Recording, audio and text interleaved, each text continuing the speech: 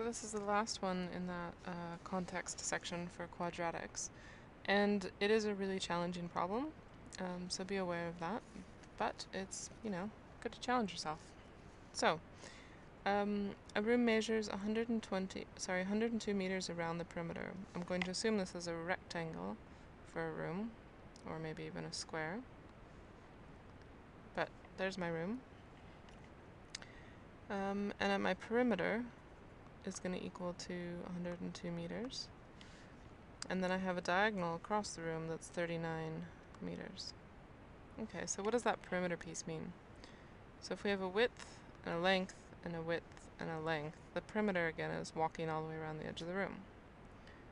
So that's going to end up being the length plus the length, which is 2L, plus the width plus the width again, which is 2W.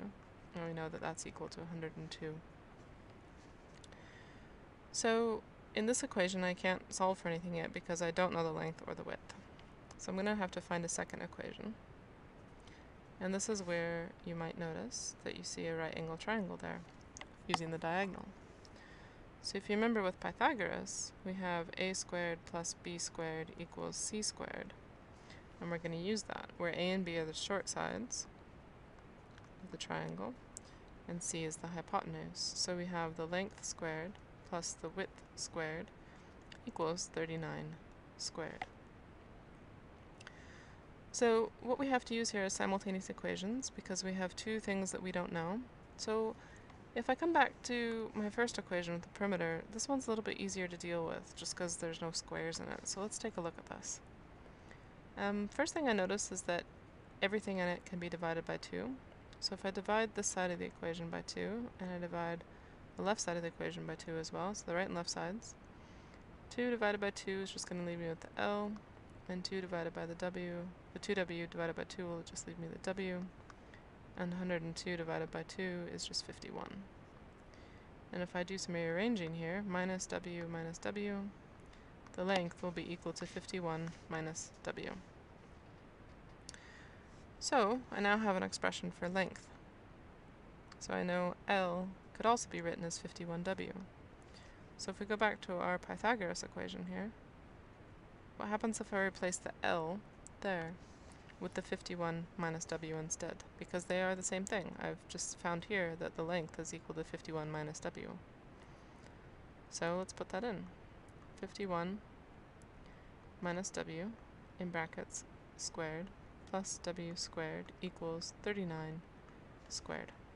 Now this is where it gets a bit nasty and you'll want a calculator or want to take the time to work this out using some scratch paper as well, but we've got to do some big calculations here. So first thing to do is we know, well I know here looking at this that I'm going to have a quadratic because I can see that there's like w squared in there. So I know that I need to make sure I get it set equal to 0 first, and then second step is going to be factor it.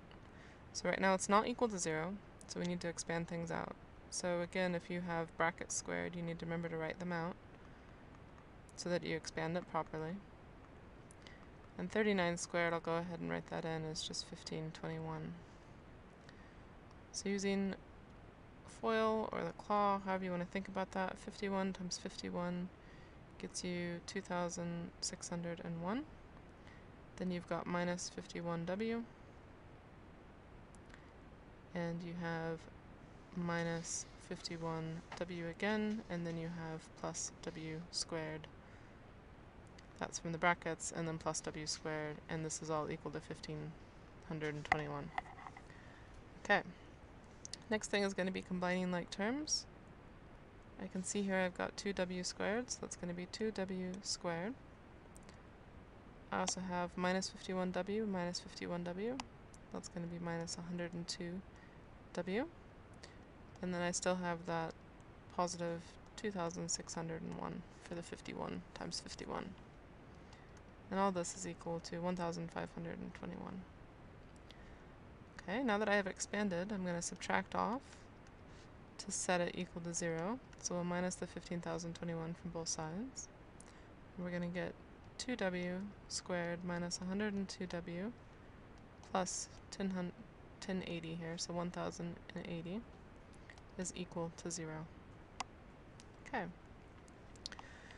So now I need to factor this, and those are really big numbers. So the first thing I'm going to look for is, can I make it easier on myself? Is there a common term? 2, 102, and 1080.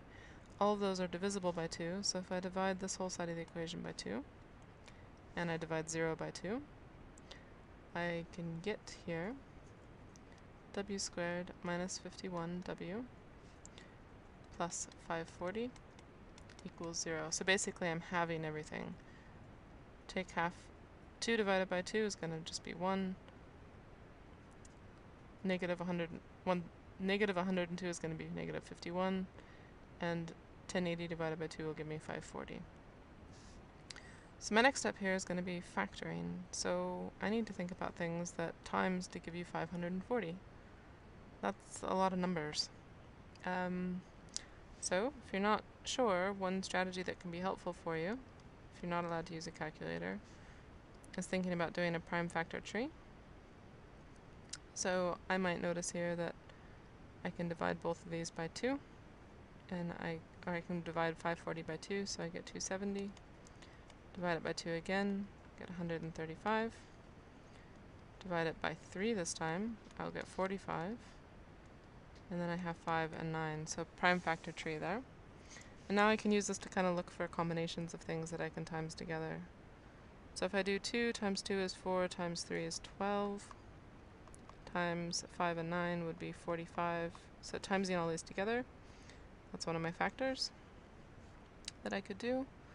Um, let's think about another one. So if I do a different combination, like 5 and 3, so 5 times 3 is 15, and then 2 times 2 is 4, times 9 is 36.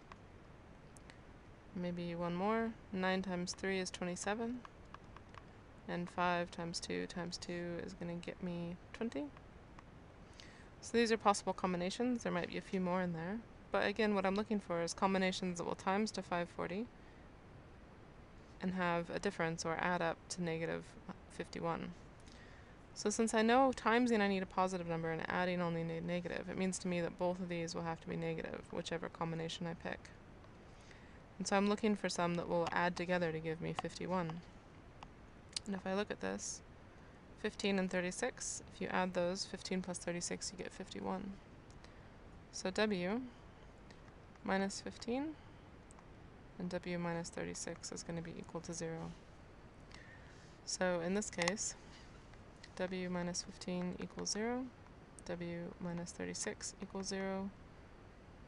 Our two solutions, w is going to be equal to 15 or 36. And this should be in meters because that is what we've been measured in to begin with. So again, you've got to this part which seems like the end, but we haven't answered the question yet, which is what are the possible length and width of this rectangle. So I can see here I've got two potential answers for the width, so I need to go back up to think about what my length would be. So if the width is 15, and since they're both positive numbers, I'll accept either of those. So if the width is 15, then the length would have to be equal to 51 minus 15, which is equal to 36 meters. So that would be one combination. Or I could have the other situation where the width, if the width is equal to 36 meters, then the length is equal to 51 minus 36, which is equal to 15 meters. And those are kind of basically the same thing. So basically we'll get a box that's 15 by 36, or we get a box that's 15 by 36, just whether you want to call it the length or the width by those numbers. So again, um, it is a challenging problem here, but good to give a go at it. So see if you guys can do a few more of those practice problems on the quadratics and context.